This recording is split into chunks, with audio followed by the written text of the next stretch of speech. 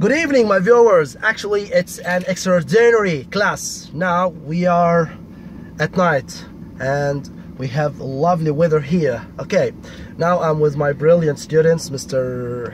Hussein or Hassan? Hussein. Mr. Hussein and Mr. Mu'min, and we have some someone far away called Abdullah. Hello, Abdullah. Ahlan. okay. Well, Hussein, we have some confusion about the present simple and the present progressive. Now we are in the car. Yes. It's okay? Okay. And I would like to ask you, what are you doing now? I drive now? No, I'm driving right now. Again, please? I'm driving right now. Because it's a present what? Present simple or progressive? Progressive. So it's a present progressive. Yes. So my viewers, now we have the state. Now something is happening. So Hussein said, I'm driving right now. Thank you, Hussein. You're welcome.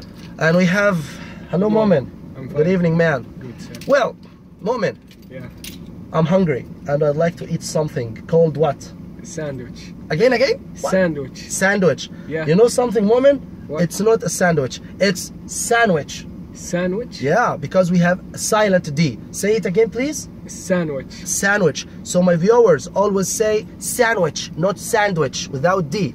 And there's some kind of a very huge uh, Ah. fish, and there's orange flesh. What yeah, is yeah, called? I know. It's salmon. Salmon. Salmon. You yeah. know something? It's not salmon. It's oh, Okay. salmon. Salmon. Yeah, with silent L. So say it again, please. Salmon. Salmon. So sandwich and Salmon. okay. Thank you, my viewers. I appreciate you. Bye bye.